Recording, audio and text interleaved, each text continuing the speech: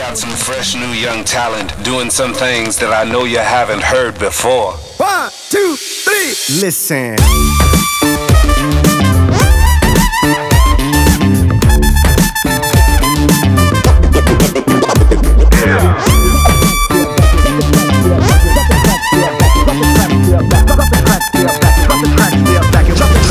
It's been great, yeah. I've had a great time. The set decoration's amazing. It's probably one of the best decorations I've ever seen, and like the lighting and just the music and all that. So it's actually it's like a rock concert. You know, it's pretty cool. Then I'm good, bruh.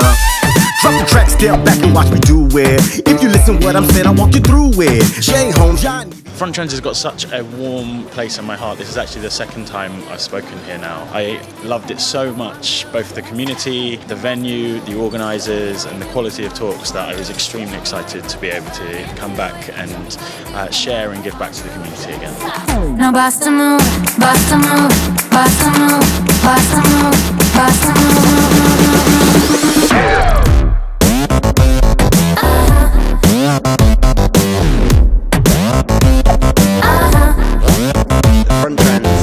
Been the, the mix of talks. I think in when you've got a conference that's over two or three days like Front Trend, it's amazing. And what you get is this, this mix of talks where there are some very specific kind of day-to-day job related talks that I can take back and talk to my colleagues about and show them. But then we've also had talks about all sorts of stuff, like a gentleman yesterday who hooked up, uh, you know, built a dinosaur LED um, frame and someone who, you know, flew a drone on the stage and, and that kind of thing. So I think it's really nice to have not only really relatable front end talks for my day-to-day job and, and life, but also just see kind of crazy things that people are up to, and, and that's really inspiring as well.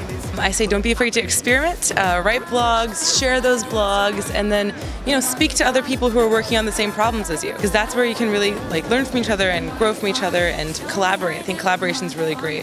Show me how you put the vibe into it. Show me how you do the monkey